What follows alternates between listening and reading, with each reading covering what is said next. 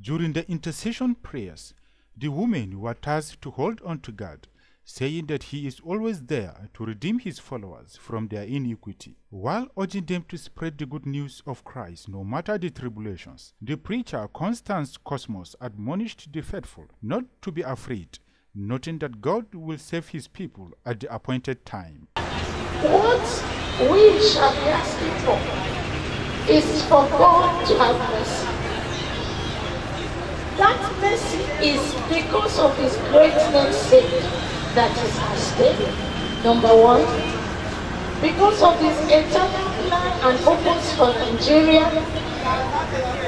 Because God has the final say. Amen. Concerned by the security happenings in the country, the association also prayed for the release of Leah Sharibu and other Chibok girls who are still in captivity.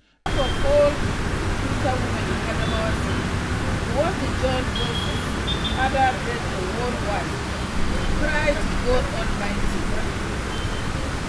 Prayers,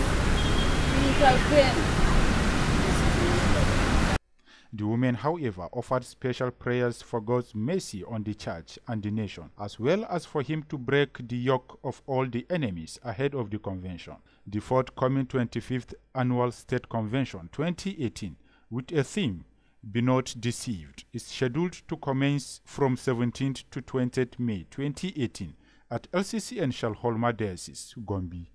Hyelda Jesiel Yaduma, Tusis News.